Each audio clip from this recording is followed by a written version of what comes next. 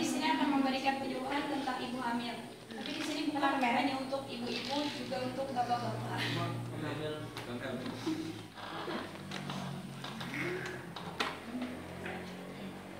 Jadi ya menurut ibu-ibu sekalian atau bapak-bapak, apa sih yang disebut dengan kehamilan itu? Mengandung perutnya ada dedeknya. Hamil. Bertemunya ya. Ya itulah. Ya. Dan kira-kira tahu nggak terjadinya kehamilan itu gimana? Terus tanda-tandanya itu gimana? Belum, belum tahu. Belum. Ayo bu.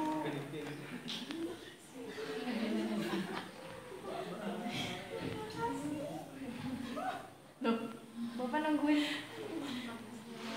Ya kehamilan itu terjadi karena sperma bertemu dengan sel telur di dalam rahim dan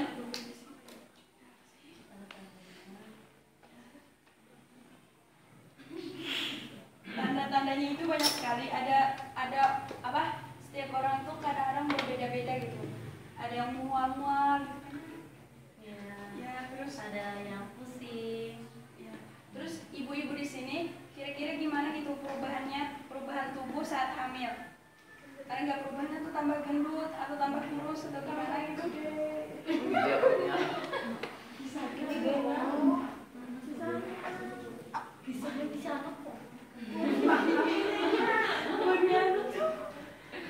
Ini ibu-ibu ya perubahan tubuh ibu pada saat selama kehamilan itu.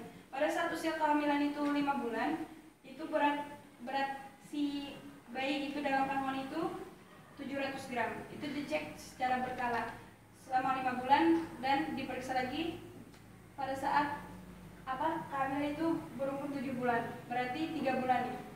Terus tiga tujuh bulan itu berat si apa si dedek bayinya itu 1600 gram. Nah setelah 7 bulan itu dicek sama satu bulan satu bulan, 8 bulan dan 9 bulan. 9 bulan itu di mana memprediksi kelahiran si dedek bayi. Eh kehamilan kelahiran. Ini menda- menda- menurut pendapat ibu-ibu, apa saja sih yang dikeluhkan selama, selama masa kehamilan itu dan bagaimana cara ibu-ibu untuk mengatasinya? Ibu-ibu. Ya bapak-bapak kalau tahu gitu istrinya. istrinya bagaimana. Apa misalnya? Contohnya tuh ya Apa misalnya? Ya sakit pinggang atau apa yang apa sampai di bengkak gitu ya Punya bengkak, sakit anemia ya cepat capek ya. Terus ini kami jelaskan lagi. Ini ada keluhannya ibu-ibu saat hamil. Biasanya ibu ibu hamil sakit pinggang itu hal yang biasa di sini. Cara menghindarinya itu yaitu meluruskan punggung dan menurunkan pantat pada saat kita mengangkut beban ini dipraktekkan ini jangan langsung seperti ini cuman harus menurunkan terus bengkak kaki bengkak kaki itu kadang-kadang orang takut gitu oh kakinya bengkak apa ada kelainan gitu loh terus bengkak itu normal terjadi cuman jangan yang besar sekali itu nah cara mengatasinya cara mengatasinya itu pada saat terbahan atau tidur di kaki di sini dikasih bantal gitu Dia ya bantal. dikasih bantal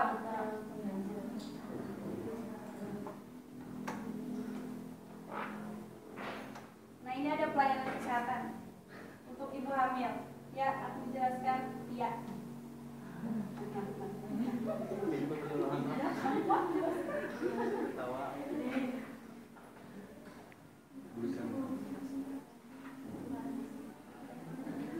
Ini cara pemeriksaan lingkar perut, lingkar perut. Nah yang ini ting- eh, berat badan untuk ibu hamil. Nah yang ini minum meminum tablet tambah darah secara Iya. Segala berkala yang seperti yang dianjurkan oleh dokter yang nah yang ini nih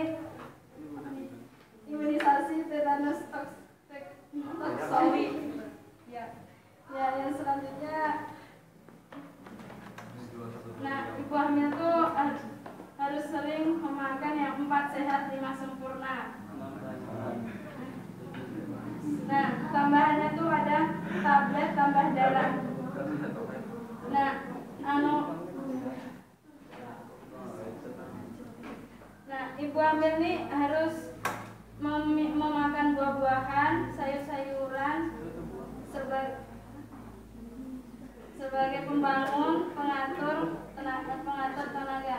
Nah, ini ada buat eh, tab, apa? Tablet tambah darah ini buat ibu-ibu yang sering anemia, yang terkena an- anemia.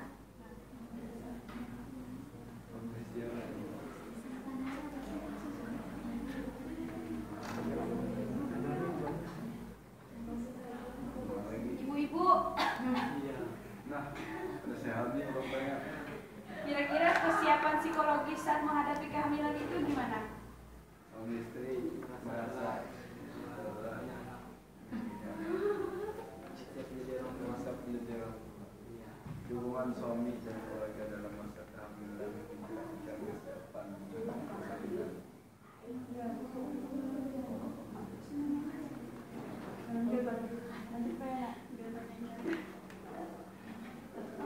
Nih, menurut bapak-bapak, eh menurut saya minta pendapat nih dari bapak-bapak mengenai pengalaman kalian ibu istrinya hamil saat istrinya hamil tuh hubungannya sama sama istri suami istri itu Oh, harus gimana? lebih harmonis lagi Iya, ya. bagus. Lebih perhatian.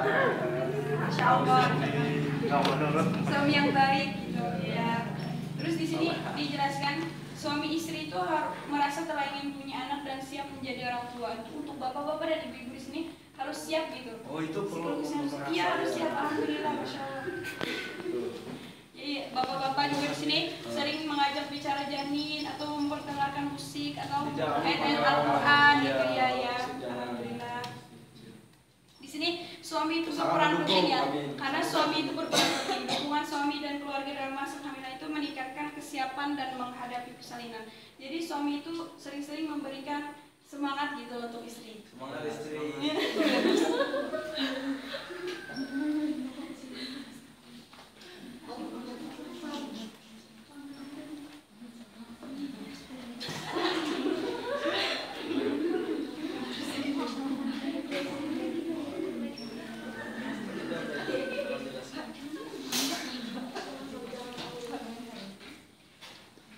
ya aku saja ya.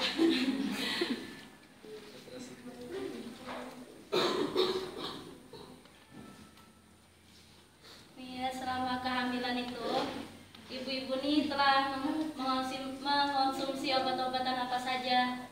Ibu-ibu tahu nggak obat-obatan yang dilarang tuh yang bagaimana dan obat-obatan yang diperbolehkan tuh yang obat seperti apa gitu. Komik. Ibu, nih antalgia itu diperbolehkan apa tidak? Tidak. Alhamdulillah. Kalau jamu, kalau jamu, kalau jamu, Buat bapak aja. kalau jamu Obat herbal. boleh nggak di apa ya boleh nggak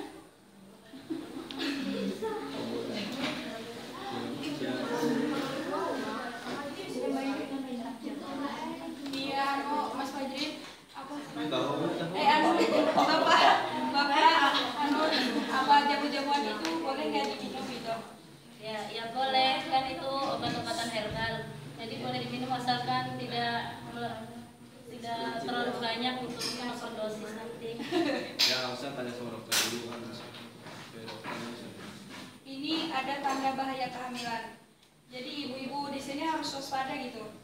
Tanda-tanda apa saja yang berbahaya pada saat kehamilan. Di sini ada pendarahan. Pendarahan itu bagi orang yang apa misalnya dia jatuh atau kandungannya itu lemah gitu. Jadi jatuh sedikit dia keguguran atau pendarahan ya jadi di sini juga suami berperan karena harus menjaga istri jangan baik. Jangan sampai istri terlalu banyak gerak. ya jangan sampai istri terlalu banyak gerak gitu. Kalau nyuci ya dicucikan gitu. Kalau coba enak gitu. terus di sini ada bengkak kaki tangan dan wajah atau sakit kepala disertai kejang. Tadi kan ada bengkak kaki saja. Di sini ada tangan dan wajah atau sakit kepala disertai kejang. Itu juga berbahaya. Terus ada demam tinggi ibu hamil itu jangan sampai demam tinggi lah gitu. Terus ada keluar air ketubannya sebelum waktunya. Itu juga sangat berbahaya. Terus hati-hati kalau bayi dalam kandungan itu nggak bergerak atau nggak ada nggak ada kontraksi. Presentasi ya itulah. Ya udah hmm, jadi Kalau merasa- harus segera di apa? Di di jemur di ke dokter gitu periksa ke dokter Iya. cek kandungannya bagaimana Terus, ibu hamil tuh biasanya muntah kan ya? Kan kalau muntahnya itu berlebihan juga tidak mau makan itu juga berbahaya untuk kehamilannya Itu. Nah, untuk selanjutnya itu perencanaan persalinan dan pencegahan komunikasi. Nah, menghadapi persalinan itu yang pertama itu mengetahui perkiraan tanggal persalinan. Nah, itu kita dapat memperkirakan itu biasanya apa, mendatangi bidan atau dokter terdekat. Yang kedua itu menentukan penolong dan tenaga eh, persalinan. Nah sebelum eh, untuk bapak-bapaknya, sebelum istri istrinya melahirkan itu harus menentukan dulu tempatnya misalkan di rumah atau di di rumah sakit dan penolongnya itu misalkan di rumah atau bidan atau dukun dan dokter dan juga harus eh, mempersiapkan donor darah, transportasi dan dan biayanya. Oke, cukup aja.